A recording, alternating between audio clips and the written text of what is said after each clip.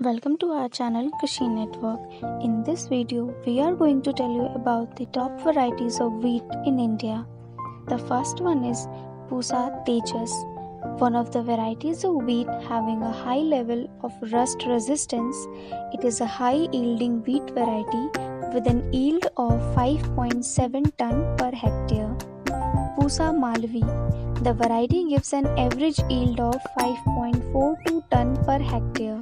This is a semi-dwarf variety 90 cm having a high tillering capacity, 120 days maturity duration with high degree of resistance to leaf and stem rust. HD 3226 highly resistant to yellow, brown and black rust. The average yield is 55 quintal per hectare. High protein content 12.8%. WH542.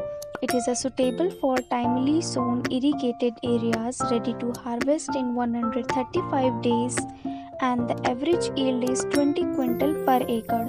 This variety is resistant to rust and Karnal bunt. PBW660 it is a dwarf variety with an average plant height of 100 cm. Its grain are amber, hard, bold and lustrous with very good quality of chapati. It is resistant to rust. Thank you for watching this video. If you have any question regarding wheat cultivation, you can comment us below.